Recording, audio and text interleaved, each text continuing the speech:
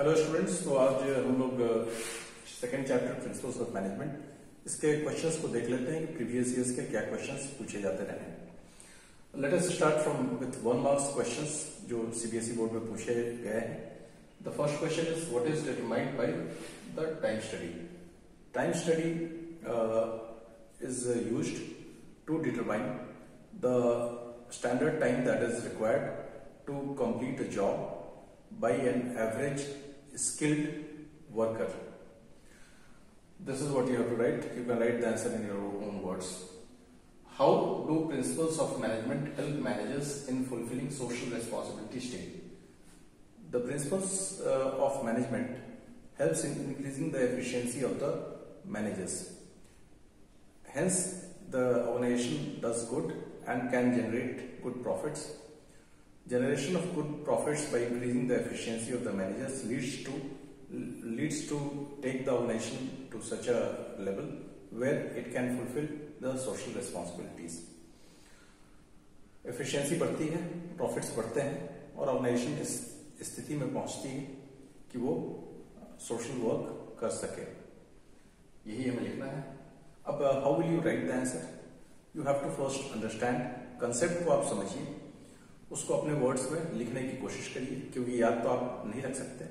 So it is very important to understand the concept behind all the question how do principles of management help managers in taking decision scientifically state 2017 में पूछा गया था ये question और ये principles the the principles of management help in taking because because scientifically uh, because the because of the scientific approach used by the managers they assess any situation scientifically without any bias or prejudice this enables him to take the right decisions दूसरे शब्दों में लिख सकते हैं since the scientific approach uh, gives the space for uh, uh, assessment which is not based on any kind of prejudice or bias.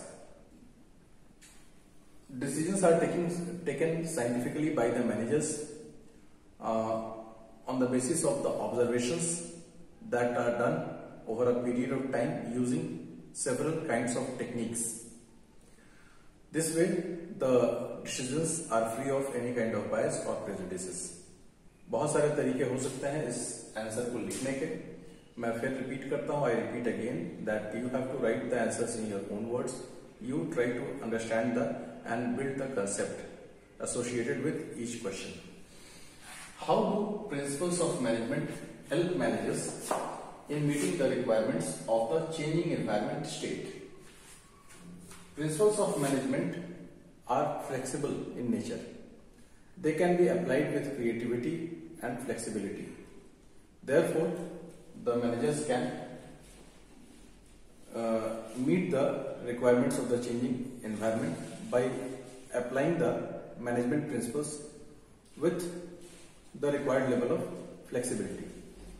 In other words, the management principles being flexible can be changed according to the changing environment. ये भी एक तरीका हो सकता है तो बहुत तरीके हो सकते हैं यहाँ यहाँ यहाँ समझने वाली बात यह है कि management principles are flexible and therefore when the environment changes the management principles can be changed according to the changing environment ये भी किसी ईयर में आए हुए, ये सारे किसी न किसी ईयर में आए हुए हैं सीबीएसई के, कई फॉरेन में दिल्ली में तो I have not mention that मैंने ईयर लिखा है, इससे आपको ये पता चल जाए कि these questions are important questions इस तरह के क्वेश्चंस पूछे जाते हैं।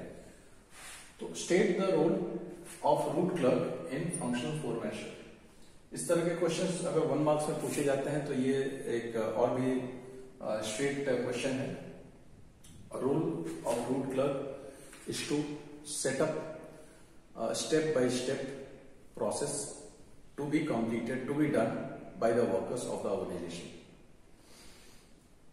Role, in other words, role of the root clerk is to decide the step-by-step process to be adopted and followed by the workers of the organization.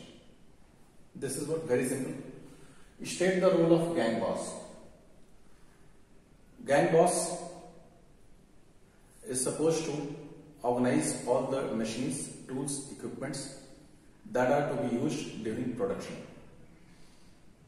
Gang boss is required to gang boss has the responsibility to organize all the machines, tools and equipments that are required for production. State the role of inspector. The role of the role of inspector is to ensure the good the quality control of the products manufactured. The role of the inspector is to ensure the quality control of the manufactured products. In other words, the role of the inspector is to uh, do the quality control checks of the produced uh, products of the manufactured products कुछ भी आप लिख सकते हैं इस तरीके so I hope that we are very clear with all the seven questions आइए दूसरे सेट के क्वेश्चंस को देखते हैं कि और क्या क्या क्वेश्चंस पूछे जाते रहे स्टूडेंट्स ये थ्री मार्क्स के जो क्वेश्चंस हैं आप अपने यहाँ बोर्ड पे सामने देख रहे हैं थ्री मार्क्स के जो क्वेश्चंस हैं अलग अलग वर्षों में ये क्वेश्चंस इस तरीके से कुछ पूछे जाते रहे हैं। जिसमें कहा जाता है एक्सप्लेन ब्रीफली और ये क्वेश्चन नंबर वन है unity of direction and order फिर दूसरा question explain briefly unity of command and equity explain briefly discipline and scalar chain उसी तरीके से ऑर्डर इनिशिएटिव इनिशिएटिव और फिर spirit de corps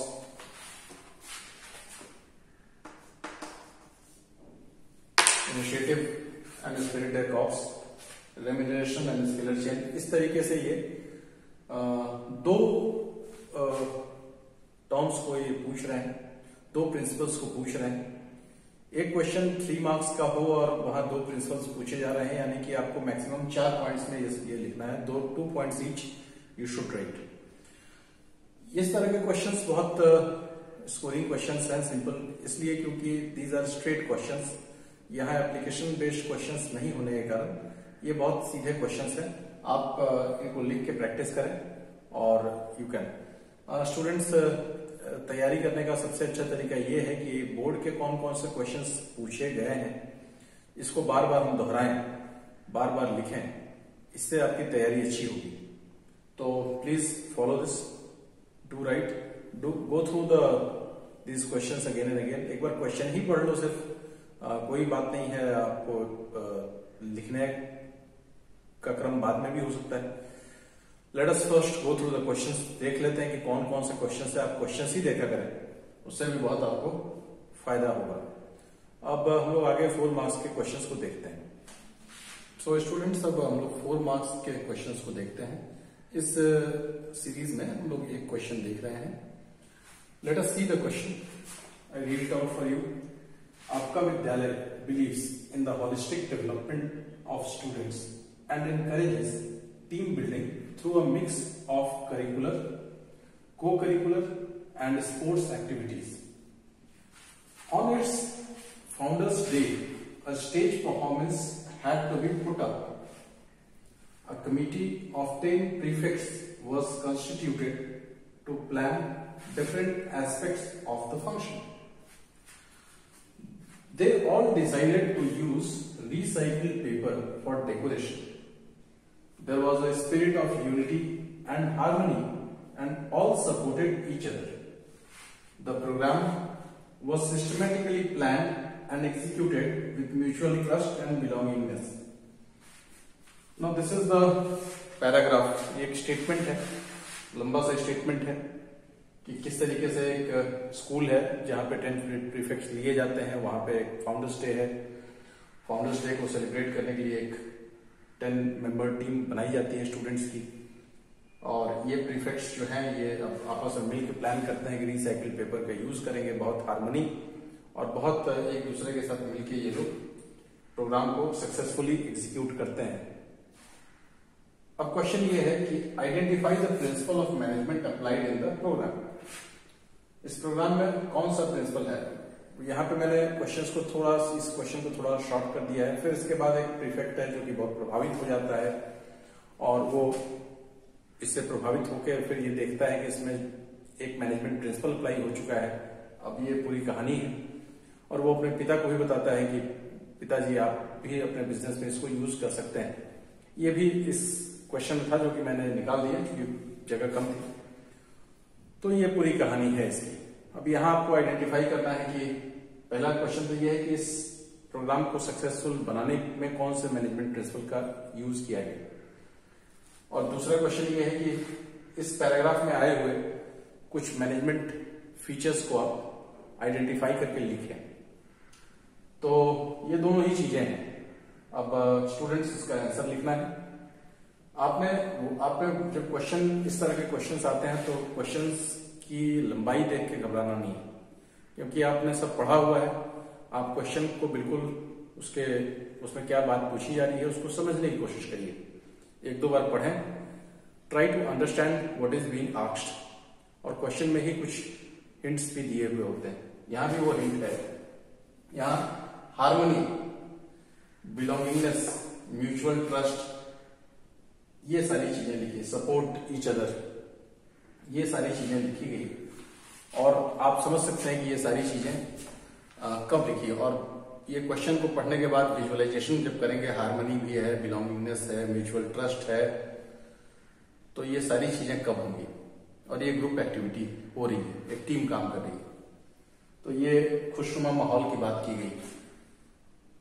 spirit de cops yes तो Fayol के fourteenth principle spirit de corps की यहाँ बात की गई है। कि टीम ने बहुत खुशनुमा माहौल में बहुत हारमोनी के साथ बहुत यूनिटी के साथ इस प्रोग्राम को सक्सेसफुली किया। तो इसके सक्सेस में ये सबसे बड़ा फैक्टर रहा। अब यहाँ पे इस पैराग्राफ में आए हुए मैनेजमेंट प्रिंसिपल्स को समझना है।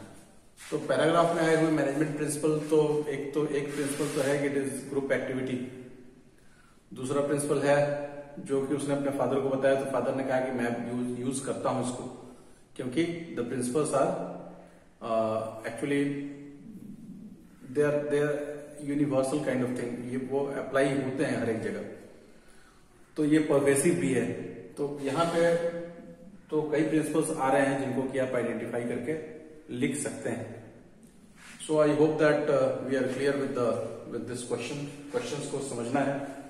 Uh, मैं समझता हूँ कि इस तरीके से मैं कुछ क्वेश्चंस तो जो आपके सामने लेके आ रहा हूँ।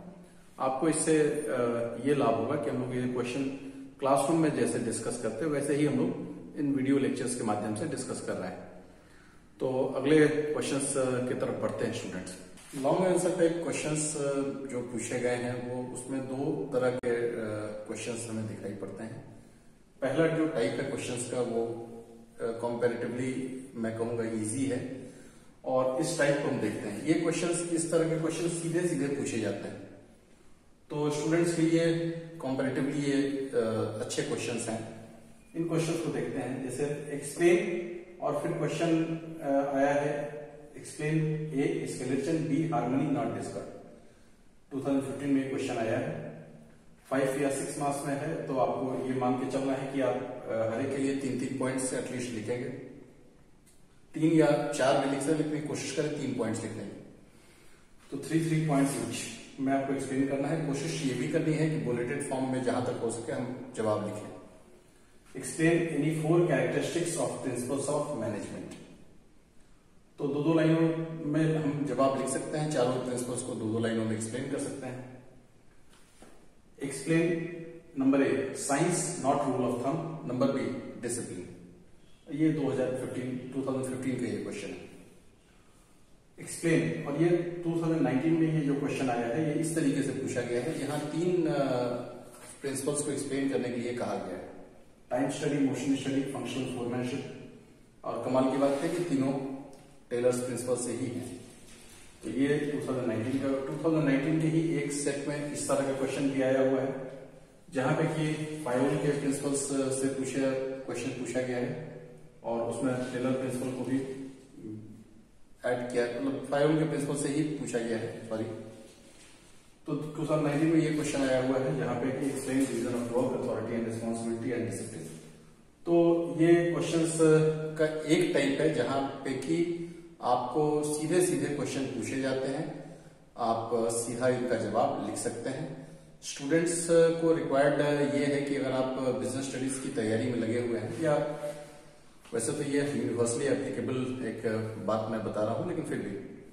आ, इसकी तैयारी में ये थ्योरेटिकल पेपर होने के कारण आप बार बार क्वेश्चंस को पढ़ें बार बार उनको रिवाइज करें कि कौन से क्वेश्चंस आए हैं। तो over a period of time you get well acquainted with all the questions और क्वेश्चन के साथ आप नेचुरली बॉन्डेड हो जाते हैं। उसके बाद कहीं कोई परेशानी नहीं होती। आ, तो हम लोगों ने करीब करीब ये इस चैप्टर के सभी डायमेंशंस को कवर कर लिया है। अब केस स्टडीज़ कुछ बची हुई हैं और कुछ केस स्टडी टाइप क्वेश्चंस बचे हुए हैं, जो कि मैं अगले लेक्चर में आपके बीच लेकर के आ जाऊँगा। Thank you